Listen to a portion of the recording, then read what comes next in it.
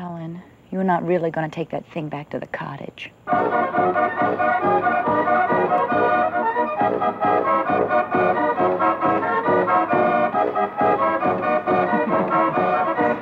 I, Alan, take this body. Yeah, and welcome to it. You deserve everything you're getting. There's no business like show business like. And I think, in time, we may get even closer. I'm going to take your scraps and feed them to my dog. Well, that's all right. Just keep a stiff upper lip.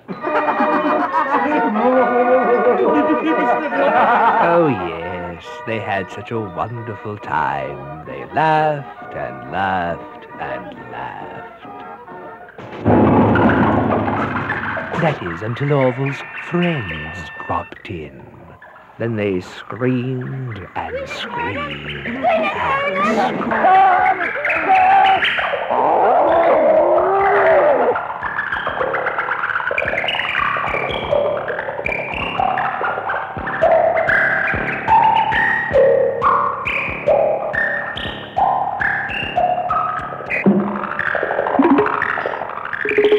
and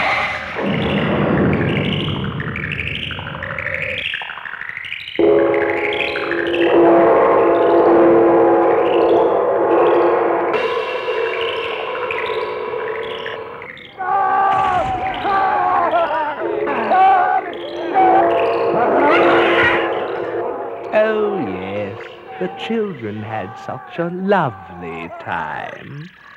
It's too bad nobody ever told them children shouldn't play with dead things.